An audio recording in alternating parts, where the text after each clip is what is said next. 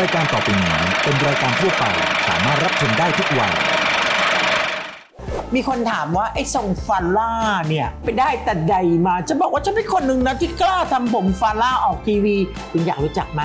ตำนานทรงผมของยิ่งศักดิ์เกือบ40 ปีชิวนะ ถ้าอาจารย์จะเป็นคาแรคเตอร์ตัวเองอะอาจารย์ต้องตัดทรงนี้แล้วตัดเสร็จแล้วอาจารย์ห้ามเปลี่ยนทรงเลย เพราะนั่นคือเอกลักษณ์ของอาจารย์ ถ้าอาจารย์เปลี่ยนทรงเมื่อไหร่นะ ไม่ใช่อาจารย์ละ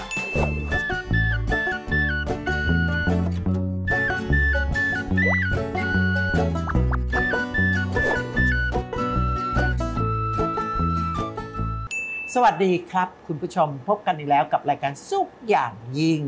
รายการที่จะพาคุณไปพบกับความสุขเรียบง่ายรอบตัว ก็ขอบคุณนะทุกๆทท่านที่ติดตามชมรายการของเรา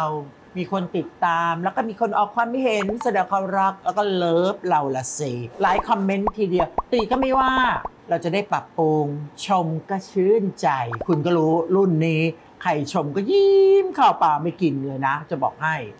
ไปเจอหนึ่งคอมเมนต์เขาบอกว่าเออทรงผมสวยตายแล้ว เออ ก็เลยอยากจะบอกกับคุณนะ ว่าไอ้เรื่องทรงผมเนี่ยมันเหมือนกรอบรูปบนใบหน้าเรานะบางคนตัดผมมาเสร็จแล้วไม่ถูกใจนะอู้แทบจะปีครอบหัว นั่งอยู่เป็นอาทิตย์กว่าผมมันจะงอกบางคนไปทำสีมาสีพังกรอบแตกไปกัดเยอะ หาเรื่องเองเนี่ย งานแบบธรรมชาติสร้างสรรค์เชียว มีคนถามว่าไอ้ทรงฟาร่าเนี่ย ไม่ใช่งูเห่านะ ฟาร่าธรรมดา ฟาร่าของฉันนี่ไปได้แต่ใดมา จะบอกว่าฉันเป็นคนหนึ่งนะที่กล้าทำผมฟาร่าออกทีวี เป็นเวลาเกือบ 40 ปี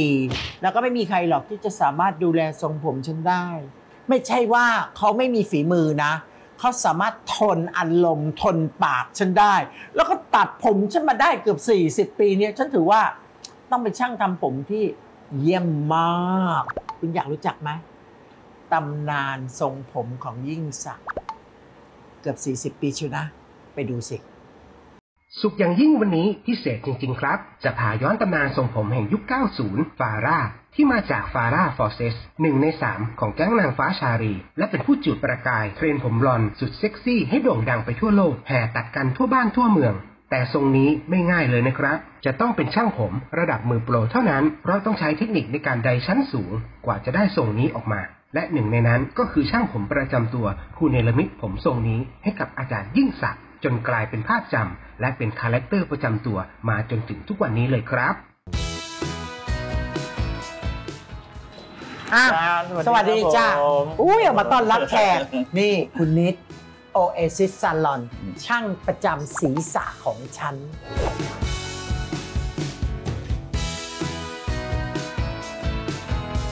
นิดครับผมเอ้ยเราตัดผมกันนิดมากี่ปีแล้วเนี่ยโอ้ยนานนะอาจารย์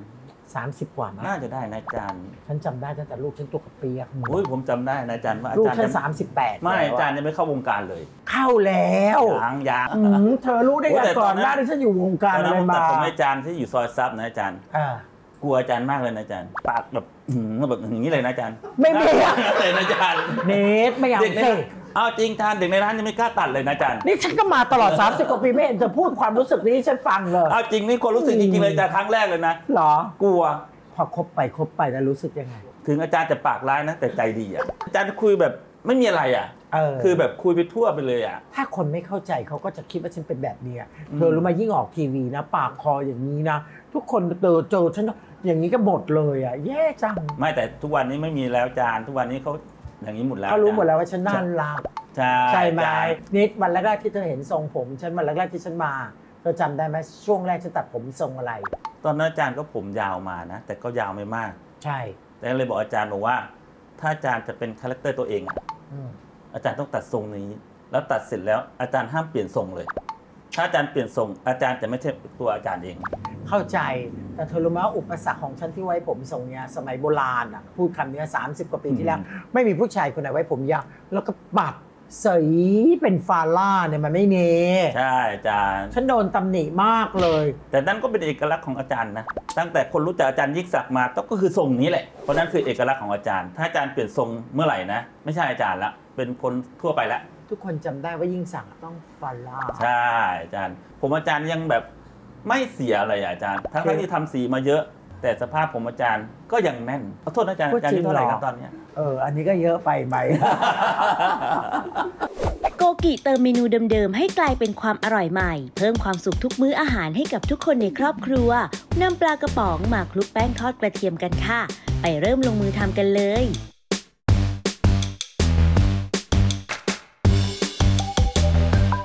ก่อนอื่นใส่แป้งประกอบอาหารตราโกกิลงในภาชนะ ตามด้วยพริกไทยป่น คนผสมให้เข้ากันแล้วเตรียมไว้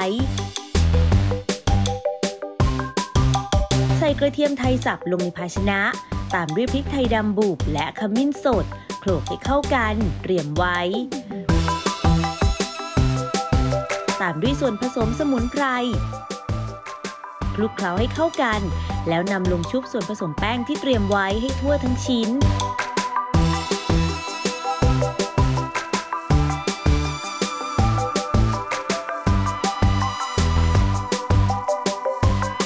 รียมลงทอด ตั้งน้ำมันพืชพอร้อน ใส่กระเทียมไทยบุบลงทอดจนกระทั่งสุกเหลืองกรอบ ตักขึ้นพักไว้ให้เสด็จน้ำมัน จากนั้นนำเนื้อปลากระป๋องที่เขาแป้งไว้ลงทอดจนกระทั่งสุกเหลืองกรอบ ตักขึ้นพักให้เสด็จน้ำมัน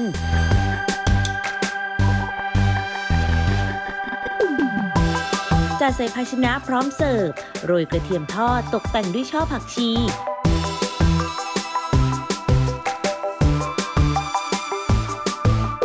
เสร็จเรียบร้อยแล้วค่ะกับเมนู ปลากระป๋องทอดกระเทียม กรอบอร่อยทันสมัยใช้โกกินะคะ